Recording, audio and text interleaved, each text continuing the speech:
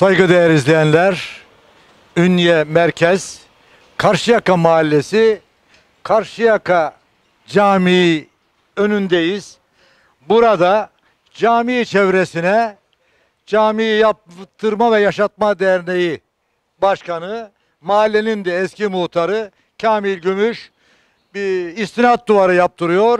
Biz o haberi yapmak üzere geldiğimizde cami yetkililerimiz de beş gözlü bay bayan tuvaleti var caminin. Gerçekten biz hep söyleriz. Tuvaletler şehirlerin, evlerin aynasıdır deriz. Ee, yetkilimiz sorumluluğunu taşıdığı e, cami tuvaletini temizliyor. Kendisini kutluyoruz. Bu arada bu arada bu caminin yaptırma yaşatma derneği olarak istinat duvarını yapan eski muhtarımız Kamil Gümüş Bey'e de uzatalım mikrofonumuzu. Yaptırma Yaşatma Derneği Başkanı eski muhtarımız Kamil Gümüş Bey ile beraberiz. Kamil Gümüş Bey e, istinat duvarını yapıyor. Yağmura, e, sel baskınlarına karşı camiyi ve cami külliyesi içerisinde yer alan tuvaletini e, korumak, kollamak adına. Sayın Başkanım hem cemaate hem de e, ünyeli hayırseverlere çalışmalarınızla ilgili ne söylemek istiyorsanız buyurun mikrofon sizin efendim. Sağ ol. Önce buradaki yapılan işlerin hepsi bir hayır işidir. Kesinlikle. Ee, bu istinat duvarı dediğimizde istinat duvarı olarak değil de desenli güzel bir duvar. Yani şey duvarı değil.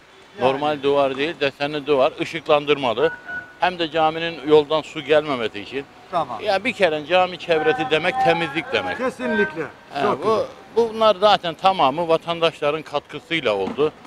Milletten Allah razı olsun. Tuvaletinizi gördük. Gö Sayın Başkan gerçekten memnun olduk. Yani Ya Karşıyaka Mahallesi'nin, Karşıyaka Camii'nin son derece modern tuvaleti var. Hep söyleriz. Tuvaletler bulundukları yerlerin aynasıdır. Kız alırken bile evinin tuvaletini kontrol ederler. Böyledir adette. ya o ya şeylerde... Temizliği gördük, kutluyoruz. Bu tuvaletlerin de bakımını caminin Hocalar. yetkilileri yapıyorlarmış. Sizi kutluyoruz. Bayan Hocam, tuvaleti orası. Göstermek istediğiniz yerlerde görebiliriz. Ya Kur'an kursu var altta. Kur'an Evet. kursunu da görelim bu arada.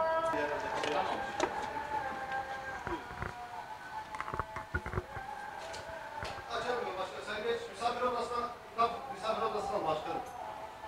Orta odaya, orta odaya. Yok tamam buradan başlayalım yeğen. Oraya buradan bak. Şimdi Burası bayanların tercihi. saygıdeğer izleyenler. Başkanım buyurun. Siz izah edin bize. Burası Bayanların... Karşıyaka Camii Kur'an kursu kız. Kız Bayan. erkek. Yok bayan, kız Bayan. erkek yok. Bayan, yaşlı. Yaşlı Yaşlı, ve- itibariyle dediğim vakit burada çocuklar değil de daha ziyade yaşlı. Çocuklarımız geliyor. İleri yaştaki insanlarımız. 20, 25, 30, 40. Yok 40 50 de geliyor. Yani cam Problem değil. mahallenin Önemli olan eğitim verilmesi. Ya buradaki- şeyli, Projeksiyon cihazımız var üstte. bak, gö, şeyli, görüntülü. E, Çok güzel. He. Çok güzel. Bakın bu bayanların... Kutluyoruz. Burası Burası bayanların misafirhanemiz. misafirhanesi. Öyle mi? Çok güzel. Evet saygıdeğer izleyenler. Burası da Misafir. Karşıyaka Camii e, Kız Kur'an Kursu misafirhanesi. Çok güzel. Kız Kur'an kursu diyoruz da ileri yaştaki insanlarımızın, Herkes var burada. dinine, imanına bağlı insanlarımızın dinini öğrenmeleri için Diyanet İşleri Başkanlığı Ünye Müftülüğü tarafından açılmış. Çok güzel. Orası da nedir mutfak mı? E tabi doğal olarak insanoğlunun ihtiyacı olan mutfakta e, kursiyerler için hizmete hazır. Hizmete hazır. Namaz kılma yeri. Ha, Ayrıca Namaz, mescitleri var. Evet. Burası da evet devletimizin kurucusu Ulu Önder Atatürk'ümüzün resimlerinin yer aldığı, suretlerinin yer aldığı kursun girişi. Sayın Başkanım size dışarıya çıkmadan şurada şurada kurucumuzun önünde hayırsever ünyelilere, mahalle sakinlerine bu çalışmalarla ilgili olarak buyurun mikrofon sizin. Ya buradaki yapılan her şey devletten pek katkısı yok bu camilerin biliyorsunuz. Kabul, insanların yardımı. Burası bir insanların, Müslümanların ibadet yeri. Burası insanların yardımıyla oluyor. Fakat başka bir şey de var. İşin dürüst olmak lazım.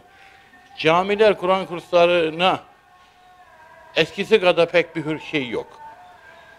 Yani camilerin asıl önemli olan doldurmamız gerekiyor. Kesinlikle. He, Yani Boş cami neye yarar?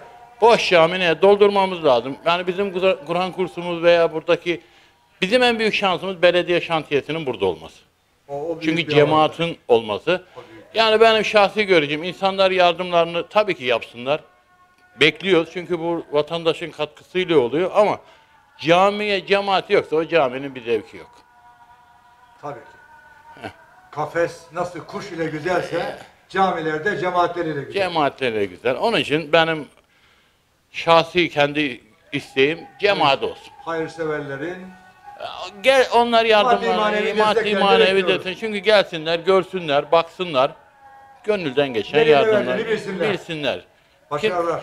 Kimsenin bize maddi para vermesi de gerekmiyor. Hangi anlamda gerekmiyor? Ya burada ne lazım? Beton alacaklar, bir de demir çimento aldılar, tuğla aldılar. Yani gelip görsünler derim. Peki. Teşekkür ediyorum. Ben teşekkür ederim. Sağ olasın.